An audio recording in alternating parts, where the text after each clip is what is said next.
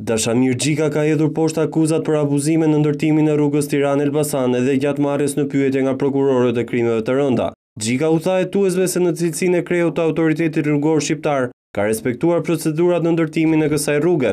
Nuk kam marrë asnjëherë vendime personale, pasi ky segment ka pasur një supervizor, një komision dhe një bankë e cila lëvronte fondet. mësohet të jetë shprehur ish-zyrtari i Ministrisë së Transporteve. Sipas tij, në kontratat për ndërtimin e autostradës figurojnë edhe firmat e të tjerë personave. Dhe dy ish-vartësit e Xhikës, Albens Alite dhe Aksel Qurduka të marrë në pyetje të hënën e kaluar, mohuan akuzat, duke i cilësuar ato politike. Prokuroria e Krimeve të Rënda i akuzon ish-zyrtarët për korrupsion dhe shpërdorim detyre. Sipas hetimeve, ata kanë krijuar një skemë korruptive, duke i shkaktuar buxhetit të shtetit një dëm prej tridhjetë e shtatë milionë dollarësh. Për këtë rast janë nën hetim edhe disa ish-zyrtarë.